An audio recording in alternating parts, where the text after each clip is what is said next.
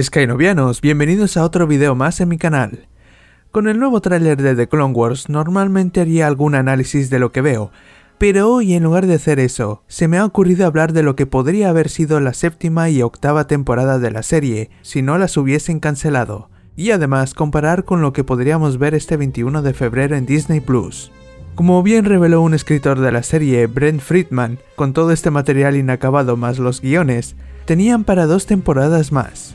Ahora con Star Wars Rebels, The Mandalorian y The Rise of Skywalker, puede que Dave Filoni y su equipo haya querido cambiar ciertos aspectos de la historia para tener una mejor conexión con las otras. Con esto dicho, os recomiendo no ver este video si queréis ver la última temporada sin posibles spoilers. Vayamos arco por arco. Este arco lo veremos en la última temporada, pero han surgido cambios. Aquí vemos a Ahsoka sobreviviendo en Kursan después de haber dejado la Orden Jedi tras los eventos de la quinta temporada. Tras comprar un speeder algo defectuoso, acaba en el inframundo de Kursan, más concretamente en el nivel 1313. Por un pequeño incidente conoce a Nick Sokami para que le ayude con su speeder, y pudo ser un interés amoroso. Ahora este nuevo personaje ha sido sustituido por las hermanas Trace y Rafa Martés. Por lo demás, no creo que haya cambiado el hecho de que serán perseguidas por criminales a los que les deben créditos como le pasaba a Nix. Solo que en este caso pueden tratarse de los Pikes, llegando a viajar a su planeta con la nave de las Martes. Durante estas aventuras es bastante probable que Bo-Katan le pida ayuda a Sokka para derrotar a Maule Mandalor. Esto nos lleva a los siguientes arcos. Esta historia no llegó a estar en la sexta temporada, pero la adaptaron en un cómic con el mismo título. Después de ser capturado por Sidious y torturado por su aprendiz, el Conde Doku, Maul es liberado gracias a la sombra colectiva y mandalorianos de la Guardia de la Muerte fieles a su causa.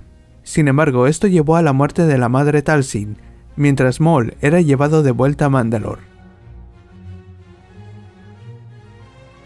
La mayoría de gente, yo incluido, está muy emocionada de ver por fin el asedio de Mandalor.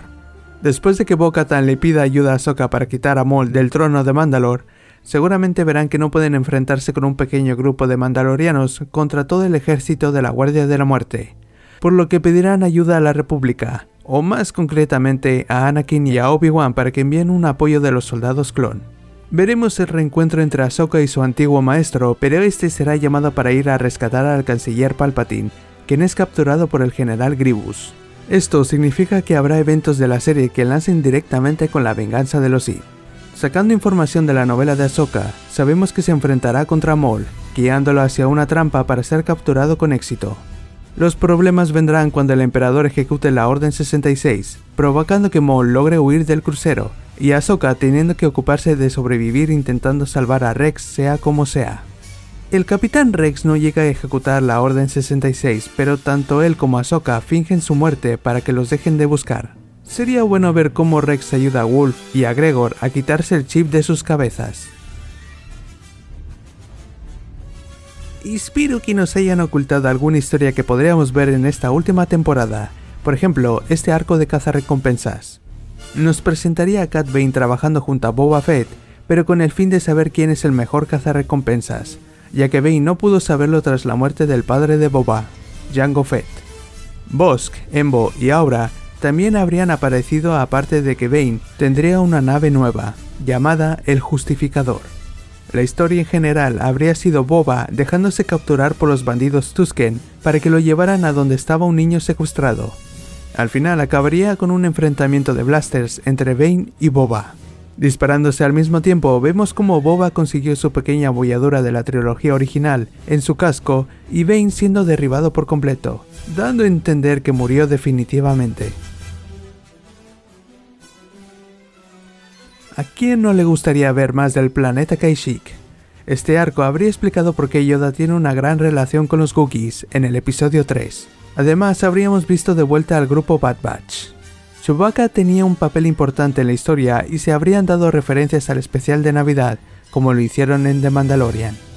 Durante la batalla, los Wookiees no tienen más opción que llamar a una especie de monos gigantes que son sagrados para ellos, y por lo tanto no les gusta llevarlos a la guerra.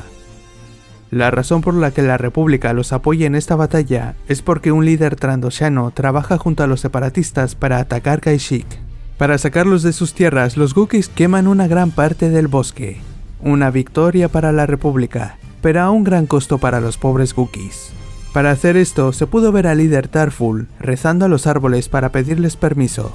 Hay algo de animación mostrando a los héroes luchando contra las criaturas Kinrad del videojuego Los Caballeros de la Antigua República. Si al final llegaran a hacer este arco, yo cambiaría a esas criaturas por los Wishcook, vistos en el videojuego Jedi Fallen Order. El pequeño arco pudo presentar una rivalidad entre las fuerzas terrestres de los clones y pilotos. Más adelante R2 y Rek se quedan varados en una de las lunas de Ryloth con un droide B2 reprogramado. Por último, se sabe que Wack y los droides astromecánicos del arco Escuadrón D también habrían aparecido creo que este arco no sería el más esperado comparado con los otros.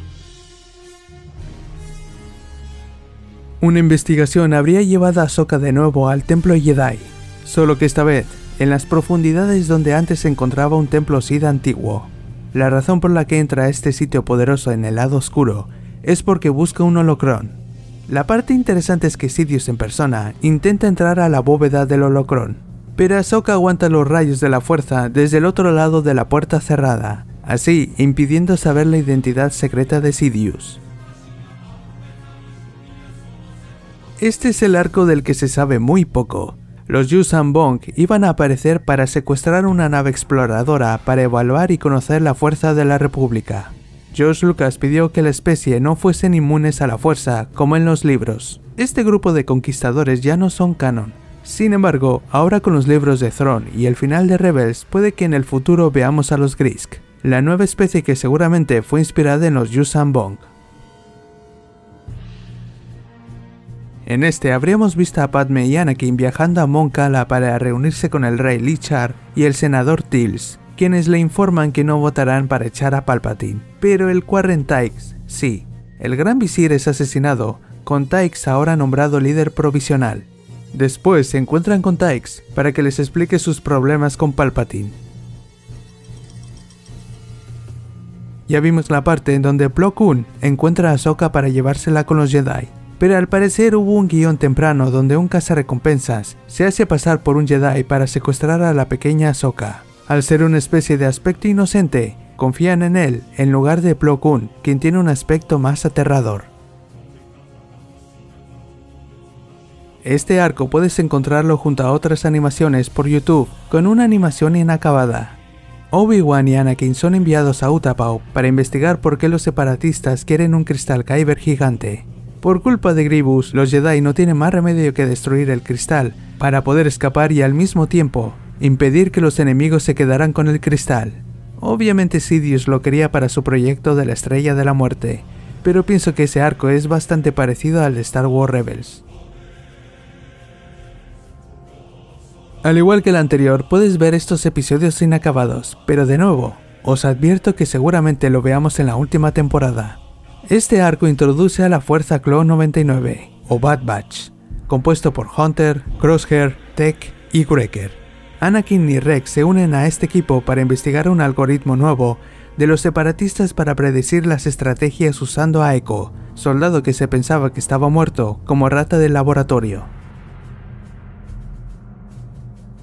Gracias a Christie Golden, pudimos saber de qué iba este arco por medio de la novela con el mismo nombre, y que os recomiendo leer. La novela nos cuenta cómo Quillan Boss es enviado por la Orden Jedi para acabar con el Conde Dooku, entablando una relación con Asajj Ventress, pero llegando a tocar el lado oscuro.